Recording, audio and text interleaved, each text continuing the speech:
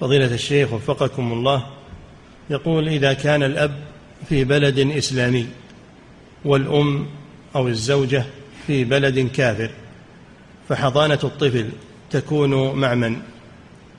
تكون من يضعها القاضي فيه ومع من يحسن إلى الطفل ويضبطه ولكن النظر في هذا للقاضي. نعم. إعداد مشروع كبار العلماء بالكويت. أعزها الله بالتوحيد والسنة.